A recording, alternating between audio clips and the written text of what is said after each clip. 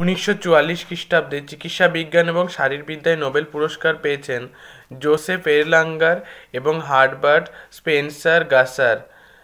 একক স্নায়ুতন্তুগুলির অত্যন্ত বিভেদপূর্ণ কার্যাবলী সম্পর্কিত তাদের আবিষ্কারের জন্য তারা নোবেল পুরস্কার পেয়েছেন।